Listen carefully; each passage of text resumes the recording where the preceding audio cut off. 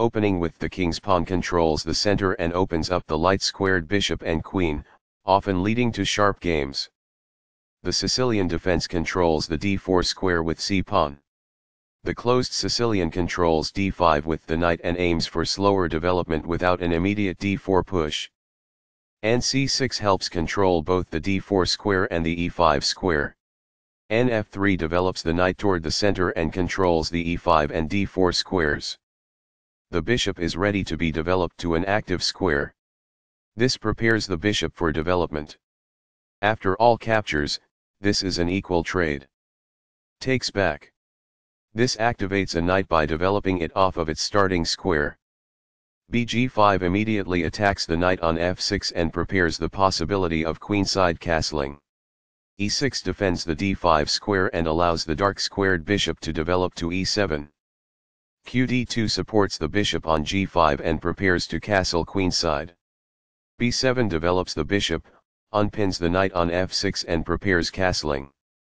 Queenside castling gets the king out of the center, activates the rook and seeks to start an attack on the king's side. a6 prevents the white knights and the f1 bishop from reaching b5 and prepares the b7 b5 advance. This maintains the balance in material with a good trade. Recaptures. After all captures, this is an equal trade. This is the only good move. Takes back. It is the last book move. The game is still close to equal, but white lost their advantage. It is a mistake. This is not the right idea. It is an inaccuracy. A very strong play. It is excellent. This offers to exchange pieces of equal value. It is excellent.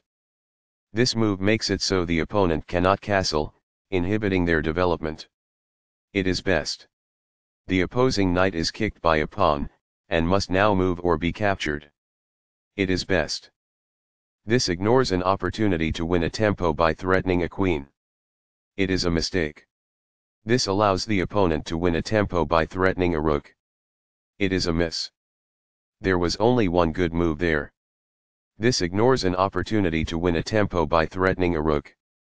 It is a miss. This is the only good move. It is a great move.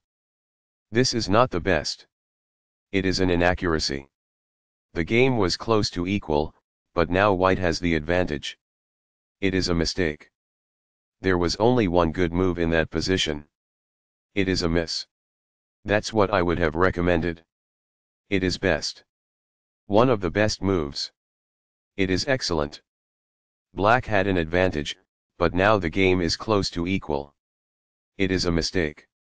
This blocks an attack on a vulnerable pawn it is best. This ignores an opportunity to move a piece to safety. It is a mistake. This threatens to push a passed pawn towards promotion. Only one move worked there, and this wasn't it? It is a miss. This develops a bishop off its starting square, getting it into the action. This threatens to attack a trapped bishop. It is best. This ignores a better way to add a defender to a vulnerable pawn. It is a mistake. This threatens to win a bishop. This stops the opponent from being able to take an open file with a rook. It is good. This captures a vulnerable pawn. It is best. Recaptures. It is best. Takes back. It is best. This threatens to fork pieces. This permits the opponent to create a passed pawn. It is an inaccuracy. This maintains the balance in material with a good trade. It is best. This is the only move that works. This threatens to win a queen. It is a great move. This protects the attacked pawn. This is the only good move. This prevents the opponent from being able to win a queen. It is a great move. Balanced neither player ever had an advantage. That game was pretty competitive. Both players had an amazing opening. The middle game battle was fairly even.